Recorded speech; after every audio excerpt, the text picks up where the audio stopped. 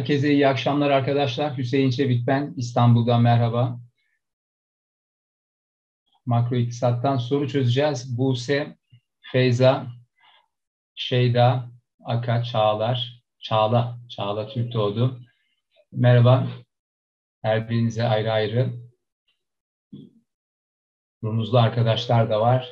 GG var.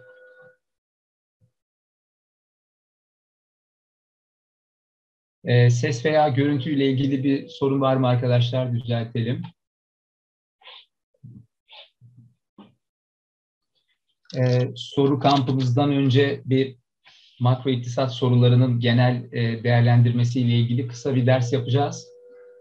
E, ve bu derste makro iktisatta e, en çok soru olan konulardan e, seçme e, sorular çözerek Sınava yaklaşık bir ay kaldı. Ee, bir hazırlık yapmış olacağız. Ee, şu an Feyza cevap yazdığı için Feyza'ya sorayım. Ses veya görüntü ile ilgili bir sorun var mı Feyza?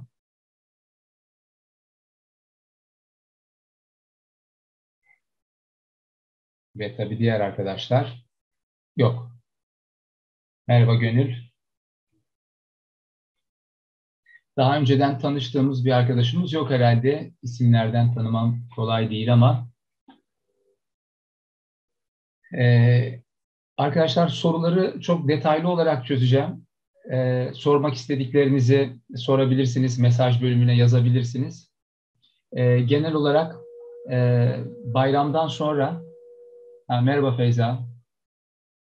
Evet, e, bayramdan sonra yapacağımız geniş e, soru kampında e, yöntemimizi genel olarak e, anlatmak, göstermek açısından e, bu ders faydalı olacak. Size bir fikir verecek sanıyorum. E, daha sonra mikro, makro ve dörtlü iktisat ve para banka olmak üzere e, dört ayrı seansta e, detaylı soru çözümleri e, başlayacak. Bayramı takip eden e, haftadan sonra son e, düzlükte, son dönemeçte diyelim sınava giden yolda. E, eğer sorunuz yoksa başlangıçla ilgili hemen başlayalım.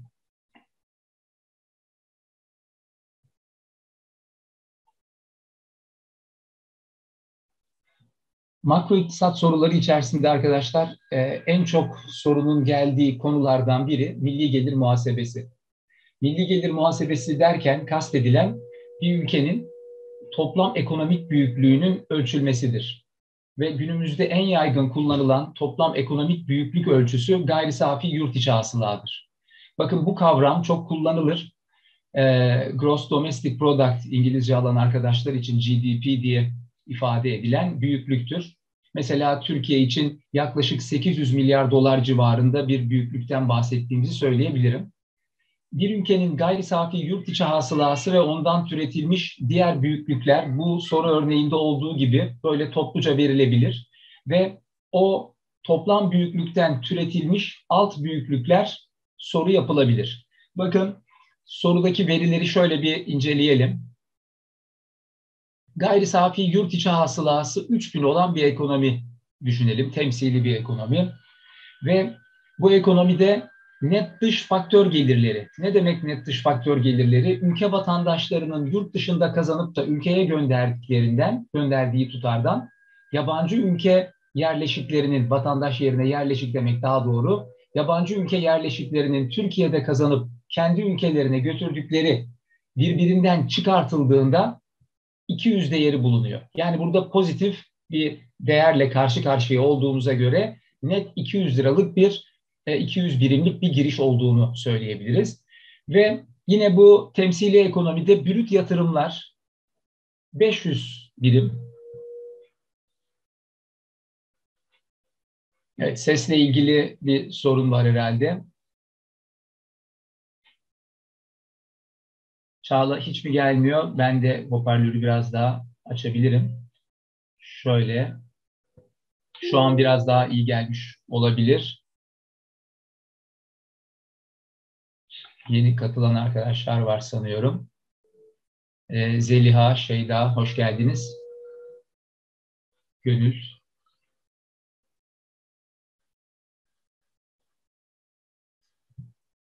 sesle ilgili sorunu hallettiysek devam edeceğim.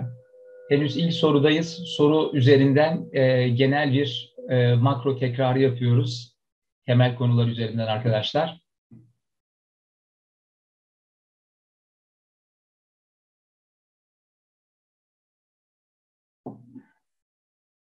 Devam ediyorum. Gayri safi yurt içi hasılası 3000, net dış faktör geliri 200, brüt yatırım 500 ve net yatırımın 400 olduğu bir ekonomi. Bakın brüt yatırım, net yatırım ifadelerinden bu kariyer sınavlarına hazırlanan tüm arkadaşların hemen şu sonucu çıkarması beklenir. Bakın henüz soruya bakmadım ama sorudaki verilerin e, aklımıza getirmesi gerekenleri izah etmeye çalışıyorum. Bir ülkedeki net yatırımı bulmak için o ülkede yapılan yatırımdan sadece yatırım dendiğinde brüt yatırım kastedilir arkadaşlar. Şöyle brüt yatırım. Brüt yatırımlardan amortisman yatırımları çıkartılır. Brüt yatırım eksi kısaca amortisman denir. Amortisman yatırımı tam doğrusu. Şimdi bunu açıklayayım.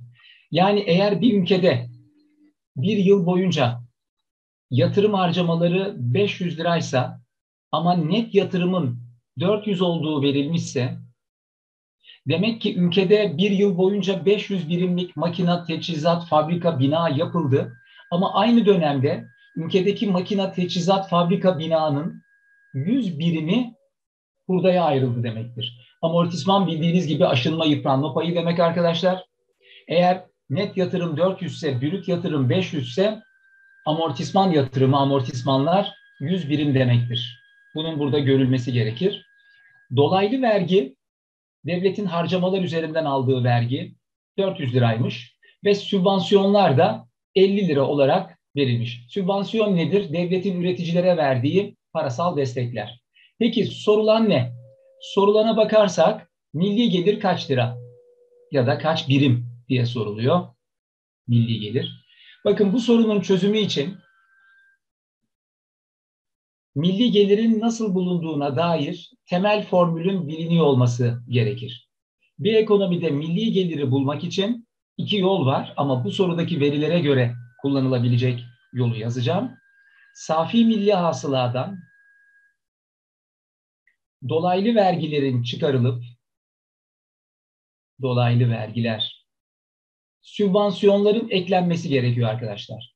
Eğer soruda bu verilerin hepsi varsa kolayca cevabı buluruz. Sorudaki verilere baktığımız zaman dolaylı verginin 400 lira olduğunu görüyoruz. 400. Sübvansiyonların şurada bir eksi var değil mi? Sübvansiyonların 50 olduğunu görüyoruz. Eğer SMH'yi biliyor olsaydık safi milli hasılayı kolayca milli geliri bulurduk. Ama bakın safi milli hasılayı bilmiyoruz. O zaman safi milli hasıla nasıl bulunur ona bakmak lazım. Bir üst adımda safi milli hasılaya geçiyoruz. Safi net demek. Net milli hasılayı bulmak için gayri safi milli hasıladan amortismanlar çıkartılır. Makroda bütün net değerler için brütlerden amortisman çıkartılıyor arkadaşlar. Yani amortisman yatırımları, aşınma, yıpranmalar. Peki amortismanın kaç olduğunu bulmuştuk burada? 100. Amortismanın 100 olduğunu bulduğumuza göre bunu buraya yazayım. 100. Ama bakın GSMH'nin gayri safi milli hasılanın kaç olduğunu bilmiyoruz. Onu bulmak için de bir üst adıma çıkıyoruz.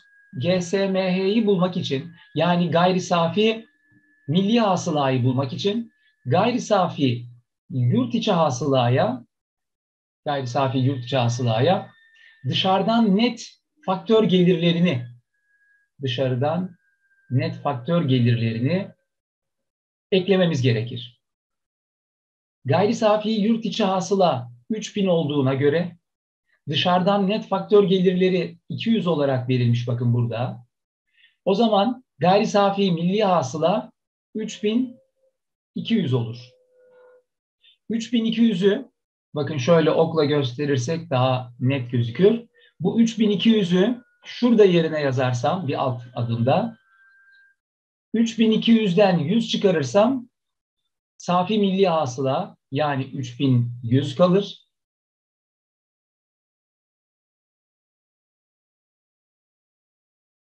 Şuraya 3100'ü yazıp 3100'den 400 çıkarırsam 2700, 50 de eklersem 2750 değerine ulaşırım. Şurada E seçeneğini düzelttim. Gördüğünüz gibi şıklarda bir yanlışlık vardı. Onu tespit ettik. E yerine 2600 yazan şık yerine 2750 yazdım. Sorunun cevabı da bu şekilde Edirne olarak ortaya çıkar. Bakın bu soru başlı başına e, ÖSYM'nin sınav e, soruları, formatları düşünüldüğü zaman başlı başına 4-5 ayrı soru türetilebilecek bilgiyi içeriyor. Bu soruya bu detayla çalıştığınızda bütün kavramların anlamlarını e, ve birbiriyle bağlantılarını çözdüğünüzde arkadaşlar bu makro iktisat sınavında e, sizin için çok büyük bir artıdır. Eğer soru yoksa bir sonraki soruya geçeceğim.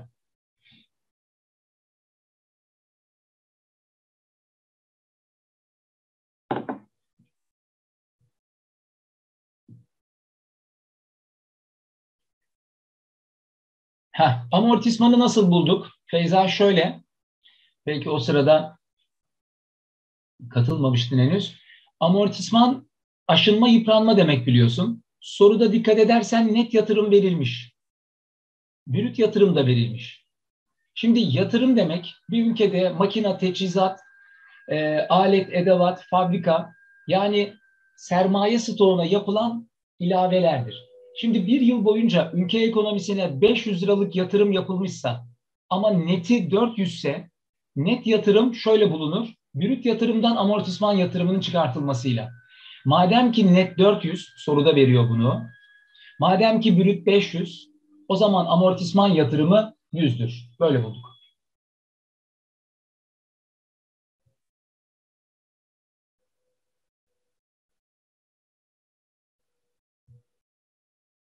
Geçtim.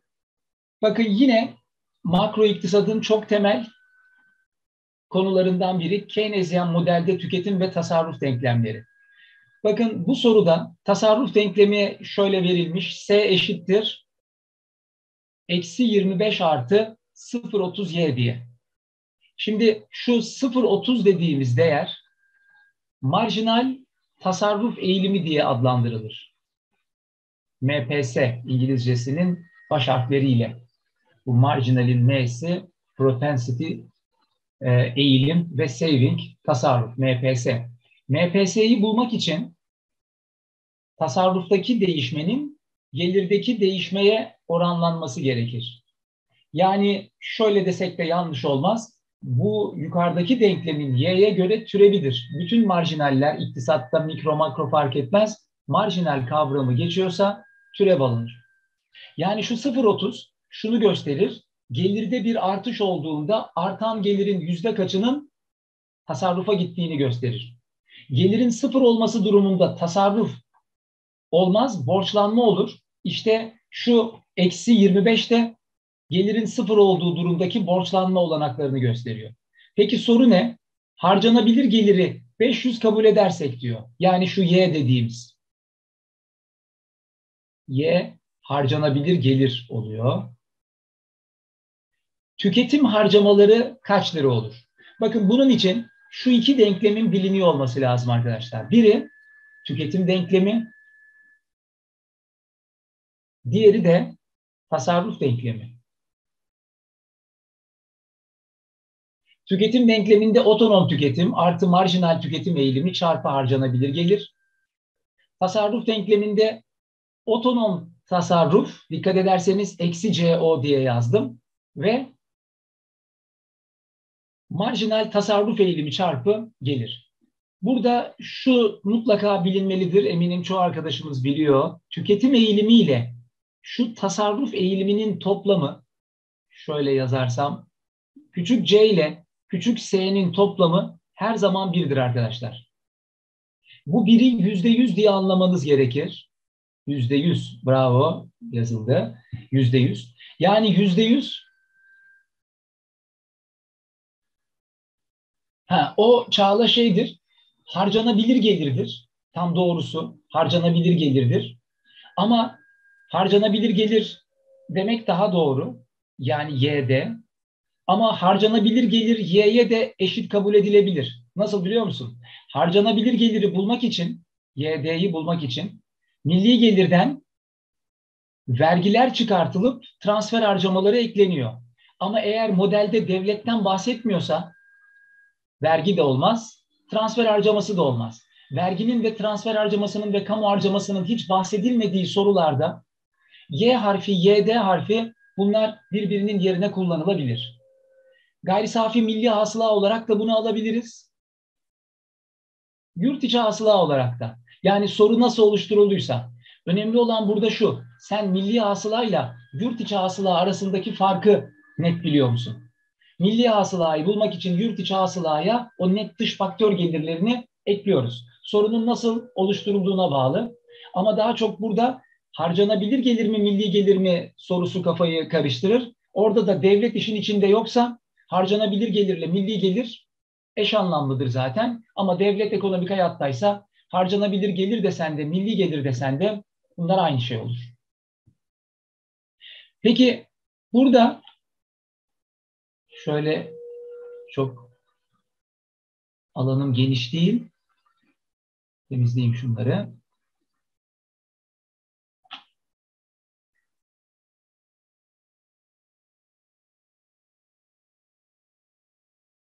C ile S'nin toplamı 1 olacak dedim. Arkadaşlar bu durumda eğer bakın bu sınav için çok gerekli tasarruf denklemini biliyorsak soruda verilmiş ya yeniden yazıyorum 0 30 y. Tüketim denklemini de aslında biliyoruz demektir. Şöyle ki eğer toplum artan gelirinin yüzde otuzunu tasarruf için kullanıyorsa madem toplamları bir olacak bunun artan gelirinin yüzde yetmişini de tüketim için kullanıyor demektir. Bravo Feyza. Ve şunu da not edebilirsiniz.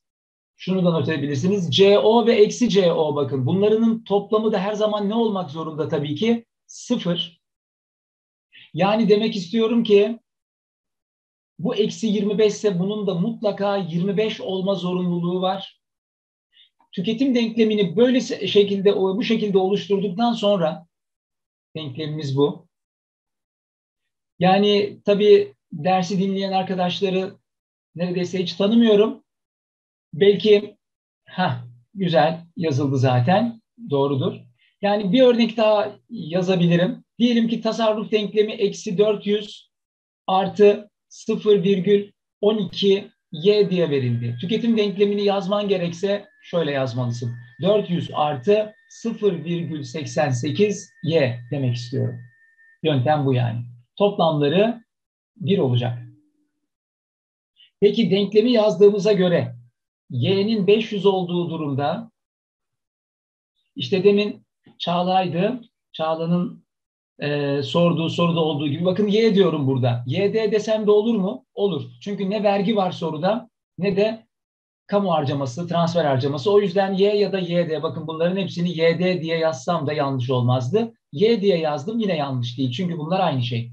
Peki YD'nin 500 olduğu durumda tüketim nedir? Soru bu. 25 artı 0,70 çarpı 500. Arkadaşlar bakın şu kısma 0.70 ile 500'ün çarpımı olan şu bölüme uyarılmış tüketim deniyor. 7 kere 5 35 ise şurası 350. E, bu da otonom tüketim. Otonom tüketim. Yani gelirden bağımsız tüketim. Gelir olmasa bile birikimlerle falan finanse edilen tüketim. O zaman tüketim harcamaları 375 liradır.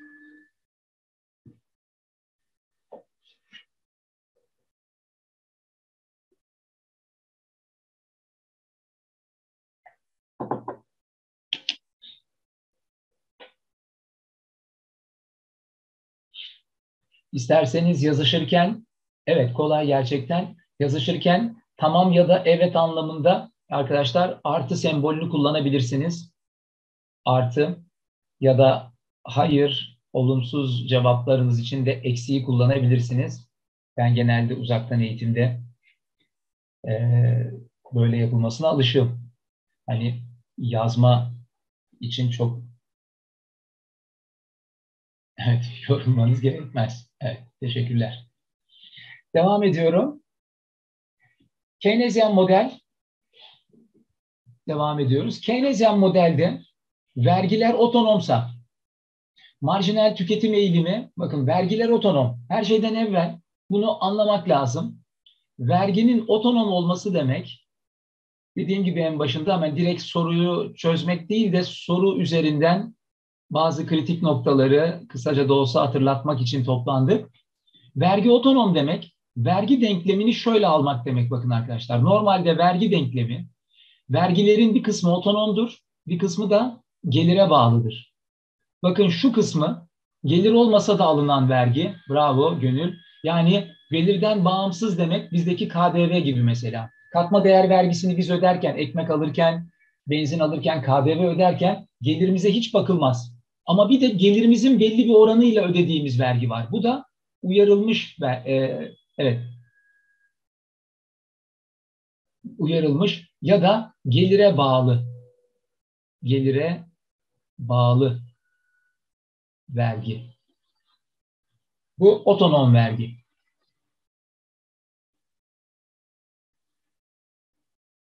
Otonom vergi.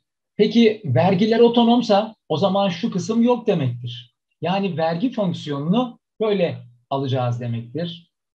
Vergiler otonom olmasa o zaman gelire bağlı vergiler de var. Demek ki küçük t de kullanılacak. Tamam. Devam ediyorum okumaya. Vergiler otonomsa marjinal tüketim eğilimi demin gördüğümüz küçük c 0,90 sa marjinal ithalat eğilimi küçük m 0,10 sa. Şimdi marjinal evet çarpanı kullanacağız doğru tahmin. Marjinal ithalat eğilimi ne demek derseniz marjinal ithalat eğilimi artan gelirin yüzde kaçının ithalata gittiğini gösteren katsayı demek. Yüzde onu. Peki marjinal tüketim eğilimi yüzde doksan ne demek? Artan gelirin yüzde kaçının tüketime gittiğini gösteren katsayı o da yüzde doksan. Peki kamu harcamaları, bakın şurada önceden yazmıştım, 600 lira artıyor. Bu government expenditure'ın G'si kullanılır, kamu harcaması. Delta G, kamu harcamasındaki değişme, 600 lira. Peki devlet 600 lira harcasa, bunun milli gelirde oluşturacağı etki nedir? Arkadaşımızın yazdığı gibi Feyza'nın çarpan kullanacağız. Tabii çarpan matematiksel ispatlarına şu an girmeyeceğiz doğal olarak ama şudur. Milli gelirin ne kadar artacağı soruluyor. Devletin harcadığı 600 liranın milli gelirin nasıl arttıracağını, ne kadar arttıracağını şöyle buluruz. Kamu harcamasının kendisinin kaç katı kadar gelir oluşturacağını bulmamız lazım. İşte arkadaşımızın söylediği çarpan şu K ile gösterilen katsayı. Güzel Feyza. Bunu çok iyi yazdın. Fakat küçük t'yi de kullanmışsın ya. Küçük t nedir? Vergi oranı. Halbuki biz vergileri nasıl aldık? Otonom aldık değil mi? Eğer vergi otonom değil de gelire bağlı olarak da tanımlansaydı yani TO artı küçük TY deseydi o formülü kullanacaktık. Ama vergiler gelire bağlı olmadığına göre, otonom olduğuna göre küçük t denklemde yok. Bravo, çok iyi. Hemen yazdım. Bu konuya hazır olduğunu bu süratinden anlıyorum. O zaman çarpan 1 bölü 1 eksi c artı m'dir. Birden c çıktığı zaman az önce gördük s kaldığı için şöyle dememde de çok güzel. Şöyle dememde de sakınca yok. s artı m'dir. S ne? Tasarruf eğilimi, marjinal tasarruf eğilimi. M, ithalat eğilimi. İyi de tasarruf eğilimi yok. Aslında var. Bunun ön çalışmasını önceki soruda yaptık. Eğer C'nin 0.90 olduğu belliyse, bakın, o zaman küçük s'nin de 0,10 olduğu belli demektir. Güzel. O zaman delta y eşittir 600 çarpı 1 bölü 0,10 artı 0,10. İki tane 0,10 geldi. Neden? E biri tasarruf eğilimi. Bakın bu 0,10 çünkü biz bulduk. Bunu da soruda vermişti. Bu da 0,10.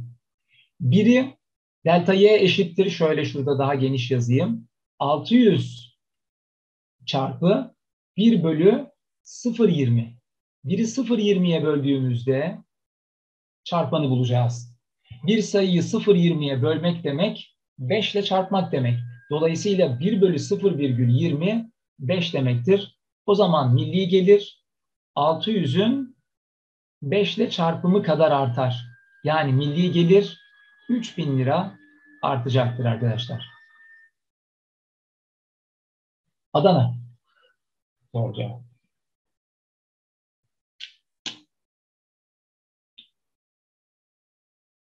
Yani bu çarpan formüllerini e, hangi durumda hangi katsayıyı kullanıyoruz? Bunları ezbere bilmek lazım.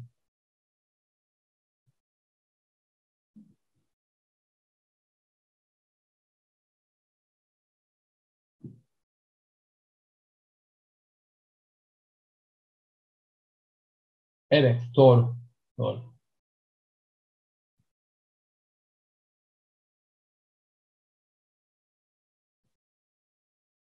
Yine bir çarpan sorusu. Bu defa denk bütçe çarpanı sorusu arkadaşlar. Bakın vergiler otonom diyoruz yine. Vergiler otonom. Dışa kapalı ekonomi. Dışa kapalı ne demek? Yani X ihracat sıfır, ithalat da sıfır. Yani dışarıdan mal almayan, mal satmayan hayali bir ekonomi. Böyle bir ekonomi yok elbette ama e, 30'lu yılların dünyasında böyle bir varsayım çok yadırganmazdı. Günümüz açısından dışa kapalı ekonomi olmaz.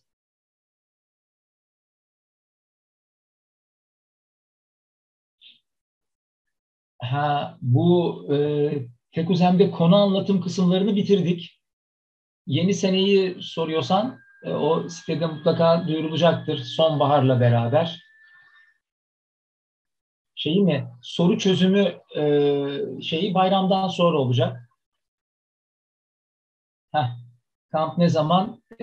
E, benim soru çözümü yapacağım mikro makro para banka ve dörtlü iktisat e, soru çözümlerim 18-19 gibi başlıyor.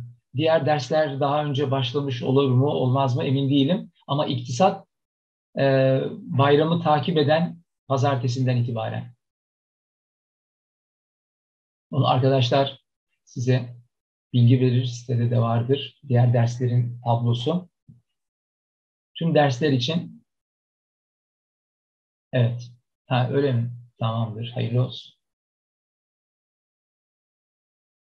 Yani orada da böyle 20-25 soruyu ders bazlı bu yöntemle detaylı çözerek konuyu e, dersin genel bir tekrarını yapacağız. O sorular size o kampa katılacak arkadaşlara daha önceden gönderilecek. Yani siz yaklaşık bir hafta 10 gün öncesinden soruları almış olacaksınız.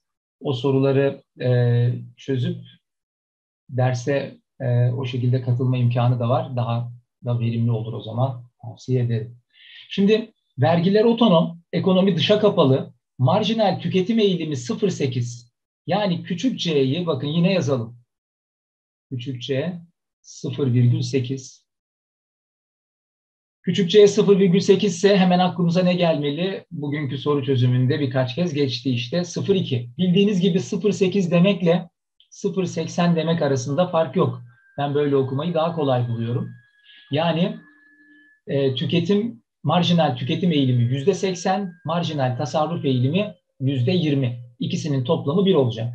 Peki bir ülkede belli bir dönemde vergilerin otonom ekonominin dışa kapalı olduğu bir ekonomide kamu harcamalarında artış olsa yani delta G ve bu artış 5 liralık 5 milyon TL diyor ya ben 5 yazıyorum kolay olsun diye. Vergilerde bu tax kelimesinin T'si kısaltma olarak kullanılıyor. O da 5 lira olsa o zaman şöyle düşünün. Temmuz ayındayız. Devlet Temmuz ayında 5 lira harcasa 5 milyon TL, yine Temmuz ayında da 5 milyon TL vergi toplasa. Bunun milli gelir üzerindeki etkisi ne olur? Bunu sıradan bir yurttaşa sorsak hiçbir etkisi olmaz der. E çünkü 5'i harcadı, 5'i de geri aldı. Verdiğini geri aldı gibi düşünülebilir. Halbuki öyle değil. Kamu harcamaları 5 lira artarsa, vergiler de 5 lira artarsa bunun milli gelir üzerindeki etkisi önce şöyle ezberden yazayım. Milli gelir üzerindeki etkisi 1 çarpı kamu harcamalarındaki artış kadardır. Yani demek istiyorum ki eğer bütçe denkse, şuraya denk bütçe yazmayı unutmamam lazım önce. Denk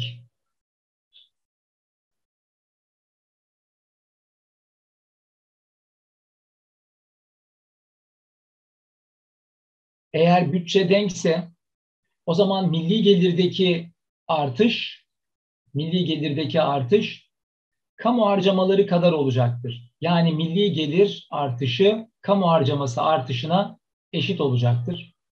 Peki böyle olacağını nereden anlıyoruz? Onu şöyle basitçe bir çarpan yöntemiyle göstermek mümkün.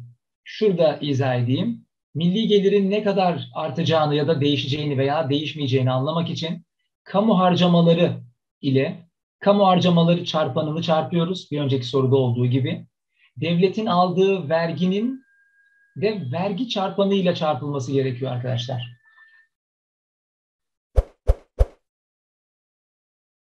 Bu şekilde. Peki elimizde şu veriler var. Devletin harcadığı para 5 lira K çarpı K artı aldığı vergi 5 lira bu da K. Bakın şu alttaki kısmı şöyle silersem işlem için alan kalsın.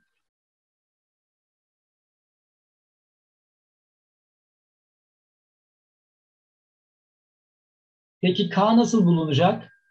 K'yı bulmadan evvel şuraya 5 parantezine bu alınır. Milli gelirdeki değişmeyi arıyoruz ya.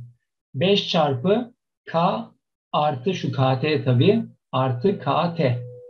Şimdi demin arkadaşımız ezberledim demişti ya. Bakın bu gerçekten gerekli sınav için. Harcama çarpanı deminki soruda olduğu gibi 1 bölü S. Peki vergi çarpanı vergi çarpanı da eksi C bölü S'dir. Bunların ikisini toplarsanız 1 eksi C bölü S olur. 1 eksi C ne demek? S demek. S bölü S de 1 demek. Evet biraz can sıkıcı olabilir. Ama şu cümleye de sizi hazırlamak için, şu ifadeyi hazırlamak için bu işlemleri yazmayı tercih ettim. Denk bütçe durumunda çarpan kaçtır? Cevap birdir. Çarpan birdir ne demek? Milli gelirdeki değişme, son sözümü söylüyorum bu konuyla ilgili. 5 liralık bir harcama vardı ya, onun 1 ile çarpımı kadardır. Yani milli gelir 5 lira, yani 5 milyon lira artar. Bu sorunun denk bütçe çarpanı olduğunu anladığınızda şu yandaki işlemlerin hiçbirini yapmadan direkt 5 milyon lira milli gelir artar diyebilirsiniz. Yeter ki ekonomi dışa kapalı ve vergiler otonom diye vurgulansın ve devlet aynı miktarda harcama ve vergiyi aynı dönemde yapsın alsın.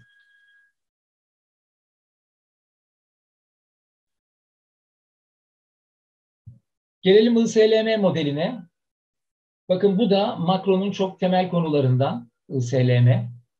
ISLM modeline göre marjinal tasarruf eğilimi azalırsa aşağıdakilerden hangisi olur? Marjinal tasarruf eğiliminin azalması.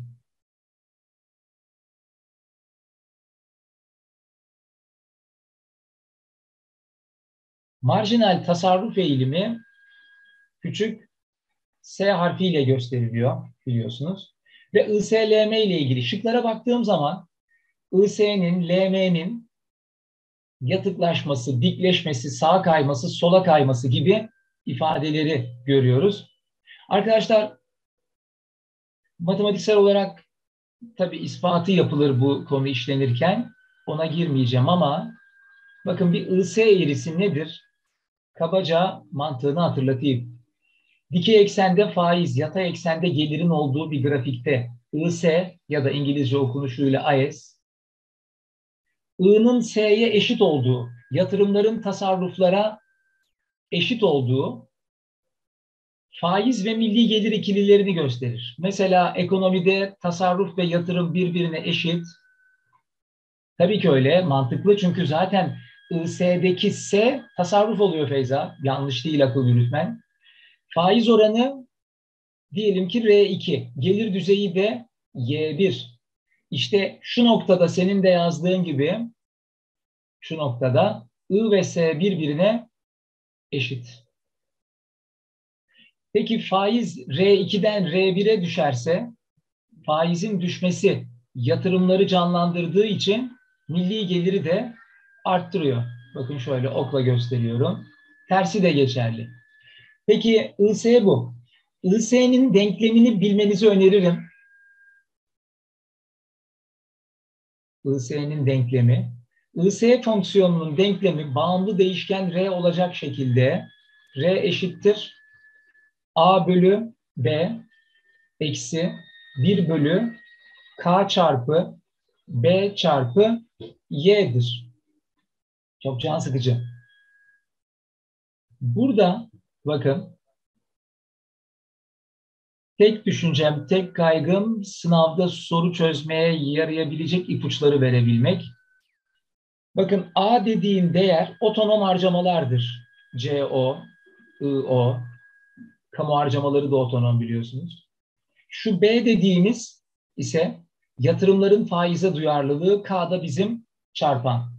Bakın ayaküstü bir hatırlatma yapmam gerekse diyelim sınava birkaç saat kala IS'yi şöyle bir e, diyelim okul bahçesinde konuşuyoruz.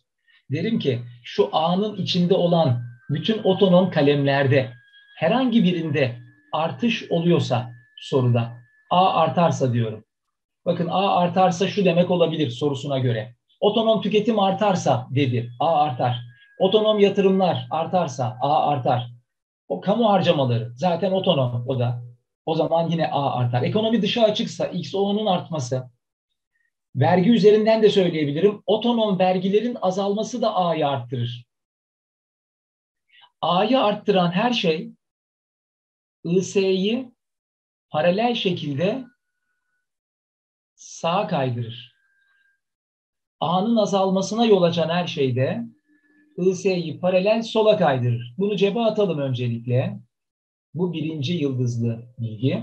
İkincisi, arkadaşlar bakın şu sol tarafa yazdığım denklem sınav için gerekli olmasa inanın sizi yormam şu saatte. Şu yeşil çerçeve içine aldığım kısım IS'nin eğimidir.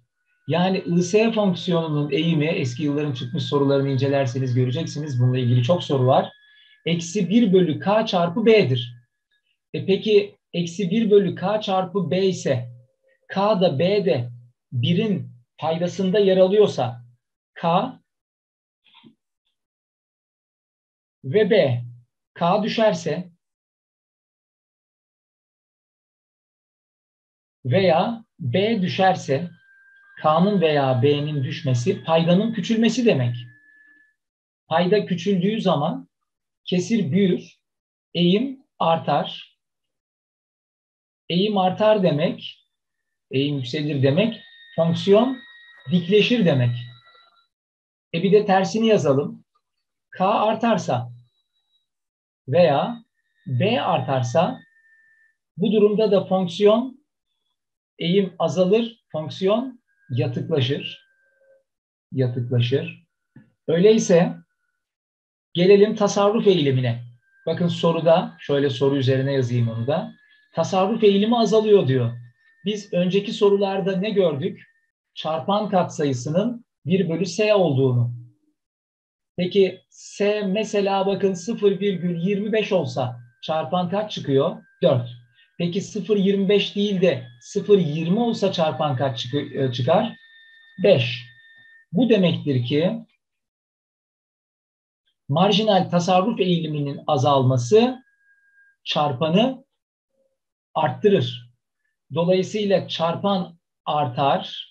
Şöyle yazıyorum. Küçük s azalırsa küçük s azalırsa çarpan artar.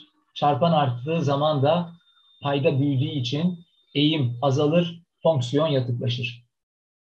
Evet, Feyza demin yazdığın doğruydu. Ee, nasıl bunu kodladın? Benim yazdığım gibi mi? Daha kestirme bir yöntemin varsa paylaş bizimle.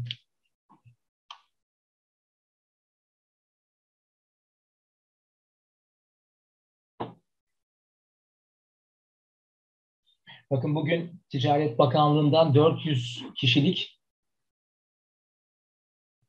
bir ilan geldi biliyorsunuz. Eylül'ün sonlarına doğru son başvuru tarihi olacak şekilde yani bu sene KPSS sınavına girecek arkadaşların da başvurabileceği. Geçen hafta 650 e, kişilik bu e, sınavı da açıldı. Bu da bu sene girecek size yetişmiyor ama sizden önceki e, grubun da yine önemli bir kısmının e, atanmasını sağlayacak.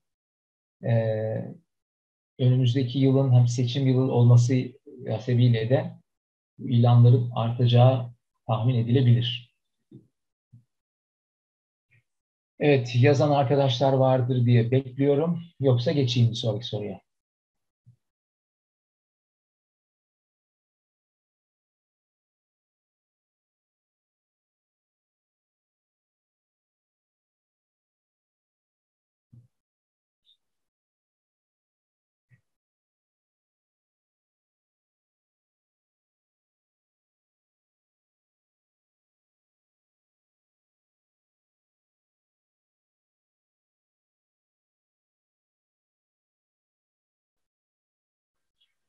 Yine bir ISLM sorusu. ISLM modelinde planlanmış yatırımların faizden bağımsız olduğu varsayılırsa. Bakın az önceki IS eğrisi önceki sorunun üzerinde duruyor. IS'yi negatif eğimli çizdiğimizde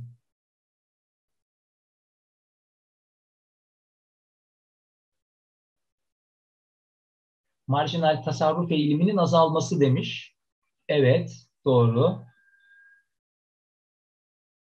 dediği için yatay olduğu yerde eğim sıfır olur. Esneklik şey için mi?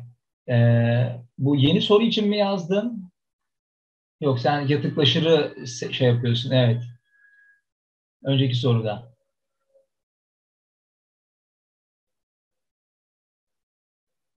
Yatak, yatay olduğu yerde eğim sıfır olur, esneklik sonsuz olur. Hayır. Hayır. Yani e, yazdıkların doğru değil. Nasıl kodladın onu bilmiyorum. E, ama marjinal tasarruf eğilimi değiştiği oldu, e, değiştiğinde IS'nin yatık olduğu yer diye bir şey yok. IS zaten negatif eğimli bir fonksiyon. Yani o yatıklık diklik konusu e, belki LM ile alakalı olarak bildiklerin arasındadır. LM'nin likidite tuzağı durumunda şöyle yatık olduğu ya da IS'nin tam dik olduğu durumlar var. İşte şimdi gelecek o. Planlanmış yatırımlar faizden bağımsız diyor ya. Bak mesela şunun üzerinden biraz daha detay verebilirim. Planlanmış yatırımlar faizden bağımsız demek bu Keynes'in teorisinin geliştirildiği 1930'lardaki durumu ima eder. 1930'lar. Peki planlanmış yatırım faizden bağımsız ne demek? Bunun anlamı şu oluyor arkadaşlar. Öyle ekonomik koşullarla karşı karşıya ki e, ekonomiyi yönetenler IS fonksiyonuyla bunu anlatacak olsak IS böyle dik çiziliyor. Peki bakın IS'nin dik çizilmiş olması neyi anlatır? Faiz oranı düşse de artsa da yatırımlarda herhangi bir oynama olmuyor. Neden? Çünkü 30'lar büyük kriz dönemleri, yılları ta 40'lara kadar sarktığı kabul edilir bu yıllar boyunca insanların ekonominin geleceğiyle ilgili beklentileri öylesine karamsar ki az çok bugünleri de andırıyor. 30'ları geride bırakacak büyük bir durgunluğa dünyanın gittiğini e, hesaplayan, ileri süren iktisatçılar var. Faiz düşse bile kimse doğru düzgün gidip kredi çekip yatırım yapmıyor. İşte yatırımlar faizden bağımsız demek. Ülkede bir 500 lira yatırım var, 500 birim. Ama bunun faizle ilişkisi yok demek. Yani IS'yi dik çizeceğiz demektir. Peki diyelim ki IS dik çizildi. Sorunun devamına bakalım. IS dikse bu ekonomide para arzı artışı nasıl bir etki doğurur? Ha, para arzı artışı dediğimiz zaman da ISLM modelinde hangi eğriye kapı açılmış oluyor? Para talebi, para arzı LM oluyor değil mi arkadaşlar? LM, evet Gönül. İşte LM'yi de e, katarak şöyle bir cevaba ulaşmaya çalışalım. Tabii orada bilmemiz gereken ekstra noktalar var. Onlara bakacağız. Şuraya R yazdım. Buraya Y. IS'yi dik çizdim. Öyle olması gerektiğini soru bana söyledi. LM pozitif eğimle çiziliyor biliyorsunuz. LM ile IS'nin kesiştiği yerde bir faiz oranı var. Ve diyelim ki bu faiz oranı ben kafadan atma yazıyorum bunu. Yüzde on. Ülkede yatırım ne kadar? Diyelim ki 500 lira. Peki nasıl bir politika uygulanıyormuş? Genişletici para politikası. Genişletici para politikası Feyza Bravo LM eğrisini sağa kaydırır. LM1 diyelim buna. Bunu sağa kaydırırsa LM eğrisi sağa kayar, LM2 olur. Peki sağa kaydığında denge değişiyor mu? Evet değişiyor. İki numaralı nokta oluyor. Faiz düşüyor mu? Düşüyor. Peki faizin düşmesi ekonomiye bir canlılık katıyor mu? Hayır. Çünkü çünküsü sorunun girişinde yazıyor. Çünkü yatırımlar faizden bağımsız bu ekonomide. Parayı bollaştırsan ve faizi düşürsen bile iktisat politikası yapıcısı olarak, hükümet olarak diyelim, bu ekonomiye bir katkı sağlamıyor. O zaman çıktı düzeyinde çıktı düzeyinde hangisi doğrudur diyor. A doğru değil değil mi? Faizde değişme olmaz değil. Faiz düşer. Faiz artmaz, düşer. Gelir arttığında diyor, gelirde artış olmaz. Çıktı gelir aynı şey. Çıktı üretim evet. Bakın cevabımız deniz.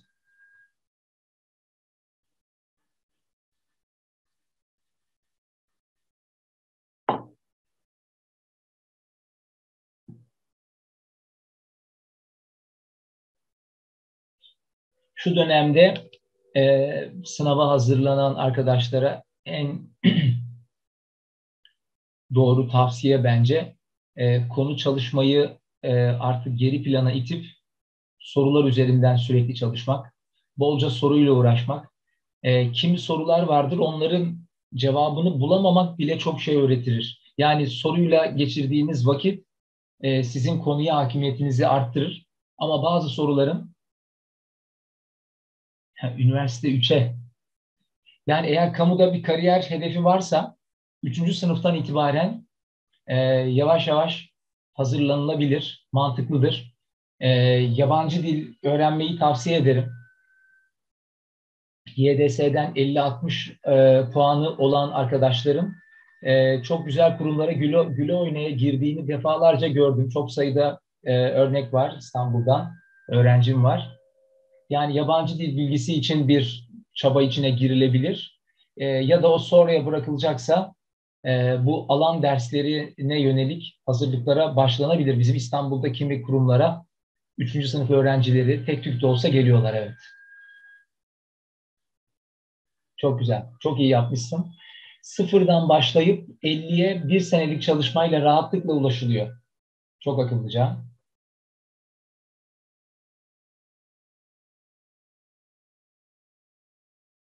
Geçiyorum. Gelelim toplam talep eğrisinin negatif eğimli olmasına. Şimdi bu ISLM'den sonraki e, model ADAS modelidir. Toplam talep eğrisi bakın şöyle bu AD diye gösteriliyor, ifade ediliyor. AD dediğimiz fonksiyon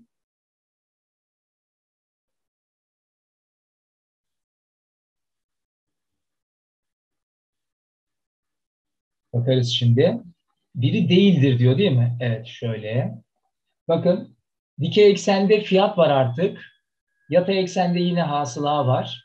Ve negatif eğimlidir toplam talep eğrisi. Bu aggregate demand diye okunuyor İngilizcesi. AD bütünleşik, toplaştırılmış talep diyelim AD'ye. Peki AD dediğimiz bu fonksiyon şu bilgiyi verir bize. Ülkede fiyat düzeyi diyelim ki P1. Bakın tam bugünün Türkiye'sinden de örnek vererek bunu açıklamak mümkün. Çok nettir. Fiyat düzeyi P1, ülkede de hasıla düzeyi diyelim ki Y3. Ülkede enflasyon olduğu, fiyatlar yükseldiği, fiyatlar yükseldiği zaman fiyatların yükselmesi talebi azaltacağı için hasılayı da düşürecektir. Şimdi burada bu soru vesilesiyle çalışacağımız konu şu. Bir ülkede fiyatlar yükselir. Yükseldiğinde tersini de yazabilirim. Yani fiyatlar düşüşe göre de anlatabilirim. Fiyatlar yükselirse toplam talepte harcamalarda yani toplam talebi harcama diye de anlayabilirim. Toplam talepte azalma olur. Toplam talep azaldığında insanlar daha az harcadığında hasılada da düşme olur. Yani ekonomi küçülür. Ters orantı yani negatif eğimli dediğimiz bu biliyorsunuz. Negatif eğimli. Peki fiyat düştüğünde toplam talep niye artar? Fiyat düştüğünde toplam talebin artması mikro iktisat konusu olsa talep yasası der geçersin. Ama burada talep yasası denmez. Peki P arttığında toplam talebin düşmesinin nedeni nedir? Buna üç şekilde cevap verilir. Bir, peki Keynes etkisiyle başlayayım Feyza'nın yazdığıyla. Ben Figu ile başlayacaktım. Keynes etkisi şunu söyler. Zamanlar arası ikame etkisi de deniyor buna. Bir ülkede fiyat düzeyi yükselirse, fiyat düzeyinin yükseldiği bir ülkede, bakın Türkiye diye düşünün, paraya olan talep artar. Para talebi. Yani benzin 5 lirayken üzerinde taşıman gereken parayla benzin 15 lira, 20 lira, 25 lira olduğunda üzerinde taşıman gereken para artıyor. Ya da çay, bir bardak çay 1 lirayken şimdi 4 lira oldu. Para talebinin artması da otomatikman faiz oranını arttırır. Faiz oranının arttığı bir ülkede de insanlar harcamalarını, taleplerini düşürürler. Çünkü faiz yüksek olursa insanlar bugün harcamaktansa parayı bankaya yatırıp gelecekte harcamayı tercih ederler. Buna Keynes etkisi adı veriliyor ya da zamanlar arası ikame etkisi.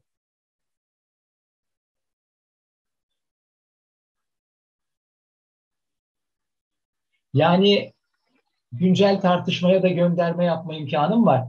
P dediğimiz enflasyon ya.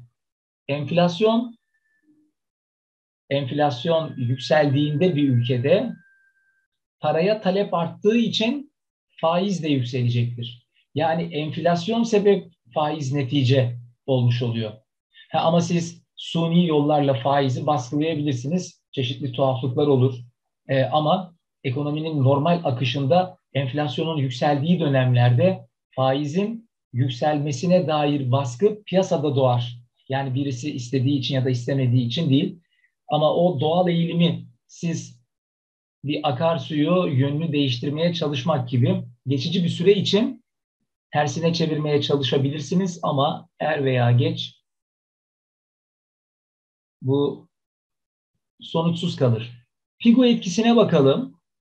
Figo etkisi ya da servet etkisi diye de biliniyor arkadaşlar bu. Bakın servet etkisi yani Figo etkisi var, servet etkisi var. Bu da şunu anlatır bize. Fiyatlar yükselirse fiyatların yükseldiği bir ekonomide servetin satın alma gücü servetin satın alma gücü azalır. Gerçekten de şu enflasyonu yaşadığımız aylarda cebimizdeki paraya daha az güvenir olduk. Varsayın ki bir 100 bin liranız var bankada. Geçen sene bu zaman o 100 bin liraya duyduğumuz güven daha fazlaydı. Bugün daha az. Servetin satın alma gücü düşer. Bu da harcamaları düşürür. İşte Figo adlı iktisatçının açıklaması da bu. Üçüncü açıklama açık ekonomi etkisi. Açık ekonomi etkisi de der ki bir ülkede fiyatlar yükselirse tabii diğer şeyler sabitken fiyatlar yükseldiğinde yabancılar sizden daha az mal alır. Yani ihracatınız azalır. İhracatın azalması demek ülke içinde harcamaların azalması demektir arkadaşlar. Dışlama etkisi bambaşka bir konudur. İktisatta çok önemli diğer bir konudur ama bu konuyla ilgisi yoktur.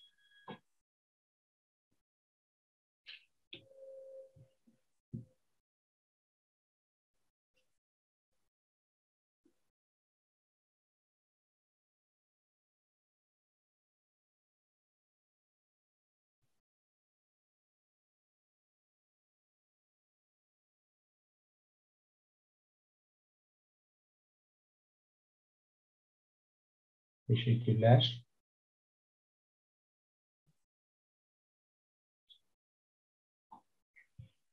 Philips eğrisine geçelim. Çok önemli bir diğer makro iktisat konusu. E, bayağı geniş çalışma isteyen e, konulardan biri de Philips eğrisidir. Biliyorsunuz Philips eğrisi enflasyonla işsizlik arasında ters orantılı bir bağlantı olduğunu ileri sürer, süren görüştür.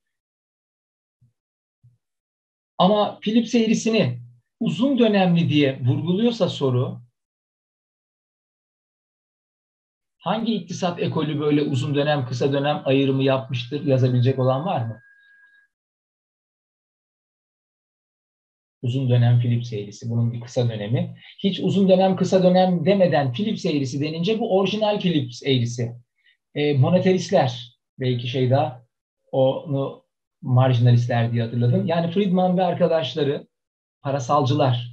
Marjinalistler mikro iktisat var ya, mikro iktisatta hani Marshall, Walras, Pareto işte onlar. Ee, marjinalistler ta 1870'lerdir. Bu monetarist görüş 1970'lerdeki yani aşağı yukarı 100 sene var arada. E, 1970'lerdeki petrol şoku döneminde düşünceleri öne çıkan Friedman ve arkadaşları. Evet. Şimdi uzun dönem Phillips eğrisi için aşağıdakilerden hangisi doğrudur diyor. O şıkların içine dalamayız eğer şöyle bir e, altyapıya sahip değilsek. Bu son sorumuz. Bakın şöyle çizmeye çalışayım. Size de tavsiye ederim. Çizmeniz iyi olur. Biliyorsunuz Philips eğrisini çiziyorsak dikey eksen enflasyonu P, yatay eksende işsizliği gösteriyor arkadaşlar U. P ve U. Ve Philips eğrisi enflasyonla işsizlik arasında ters orantılı bağlantıyı gösterir. İşte çizdim.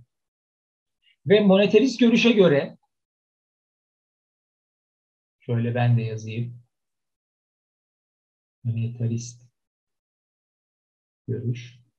Monetarist görüş 1970'lerde 73 ve 79'dur. O aralık olduğu için 70'ler denir. 1970'lerde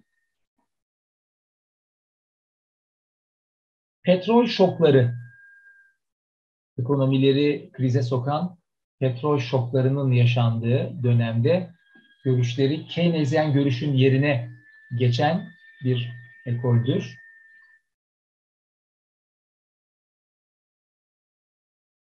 Diyelim ki bakın bu U unemployment yani işsizlik e, evet. Yani şöyle klasikler e, dediğimiz iktisatçılar genel olarak Feyza Keynes öncesindekilerin hepsinin ortak adı. Bilirsin klasik kavramını kullanan da bizzat Keynes'in kendisi bu genel teori kitabının ön sözünde. Yani klasikler dediğimizde Keynes'den önceki iktisatçılar kastedilir. Ama yine de soruna evet cevabını verdim. Çünkü monetaristlerin fikirleri kabaca detaylarda ayrılıyorlar e, klasiklerin görüşünün yeniden e, bir ele alınışı, yeniden söylenişidir. O yüzden e, şu yapacağımız yorumlar klasik görüşle de uyumludur. Evet. Monetaristler klasiklerin modern versiyonudur diyebilirim. Şimdi monetaristlere göre Philips eğrisi şöyle çizilir ve her bir Philips eğrisi toplumda belli bir enflasyon beklentisine göre çizilir. Bakın burada beklenen enflasyonun diyelim yüzde üç olduğu ya da yüzde sıfırla başlayalım. Beklenen enflasyonun PE yüzde sıfır olduğu yani toplumda enflasyonun olmadığı bir dönemden bahsediyoruz. Batı Avrupa için çok e, görülen bir durum. Enflasyonun sıfır olduğu, enflasyon sıfırsa da işsizliğin doğal düzeyinde olduğu bir durum. Mesela işsizlik 6. Bu 6'yı %6 diye anlayın arkadaşlar. PE tekrar ediyorum beklenen enflasyon. Yani hikayeyi şöyle kurayım. Toplumda enflasyon diye bir dert yok ve %6 oranında bir işsizlik var. %6 oranındaki bu işsizliğe doğal işsizlik deniyor. Doğal işsizlik gönüllü olarak işlerini değiştirenleri, friksiyonel işsizleri e, kapsıyor. Gönüllü işsizlik ve friksiyonel işsizliğin toplamı monetarist anlayışa göre. Bir diğer doğal işsizlik tanımındaysa yeni Keynesyen görüşte yapısal işsizler de e, bu doğal işsizliğin içinde. Yüzde altı bir işsizlik var.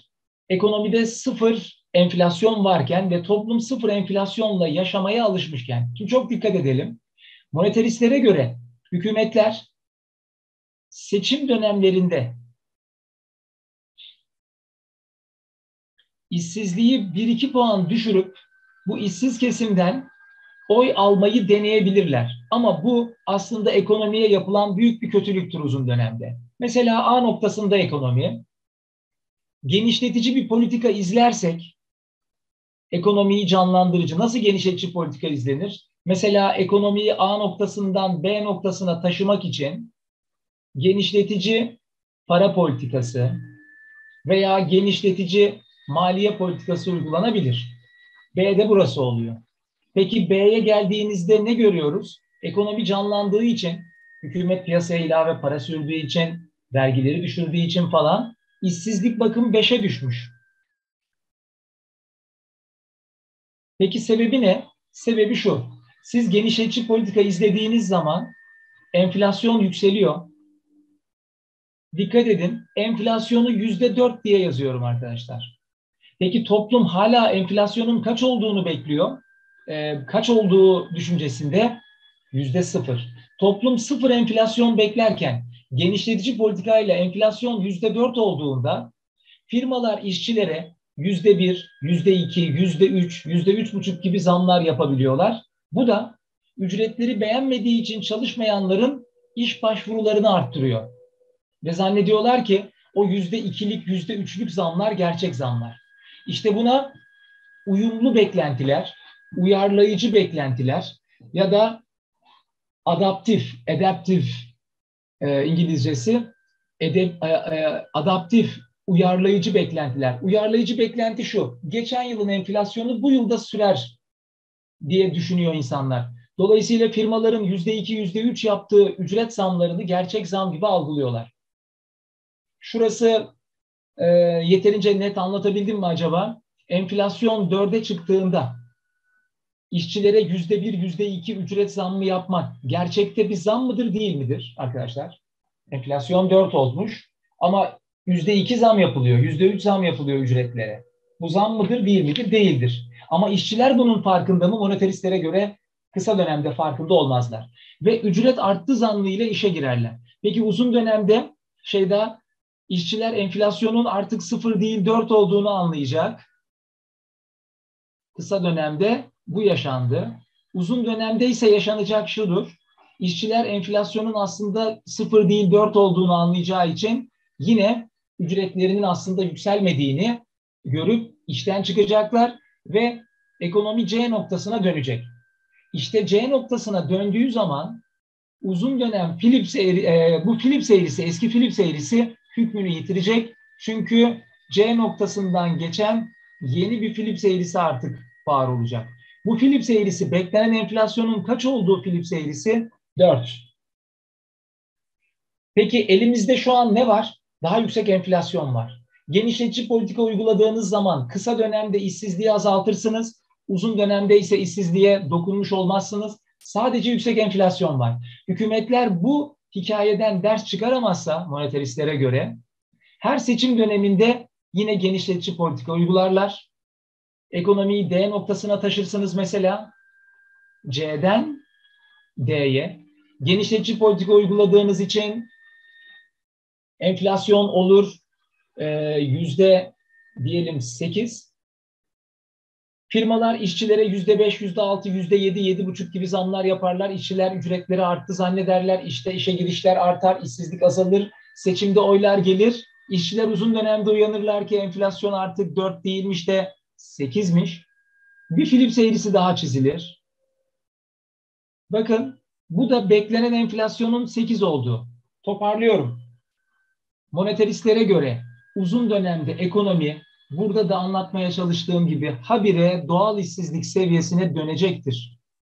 O yüzden uzun dönem Philips eğrisi denirse hiçbir şey akılda kalmasa şu not edilebilir. Uzun dönem Philips eğrisi demek dik bir Philips eğrisi demektir.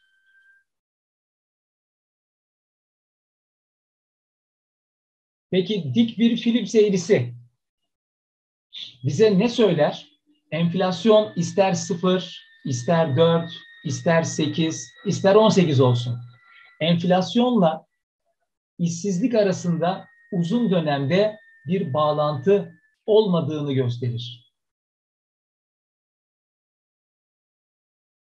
Yani uzun dönemde ekonomi B'den C'ye veya D'den E'ye doğru geçiş yapar. Kısa dönemde genişletçi politika olur, enflasyon artar ve şunu tamamlayayım, işsizlik azalır. Uzun dönemde ise genişletçi politikalarda enflasyon artar ancak işsizlik değişmez. Mutlaka yazılmalı bence ya da mutlaka biliniyor olmalı.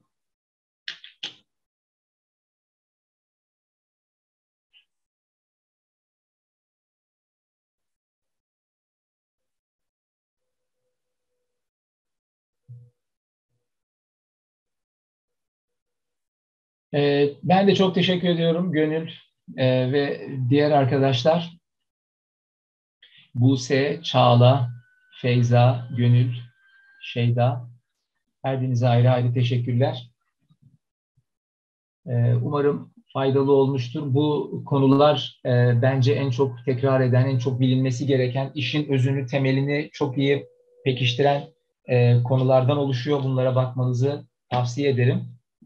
Ee, çalışmalarınızda başarılar. Görüşmek üzere. Tekrar iyi akşamlar.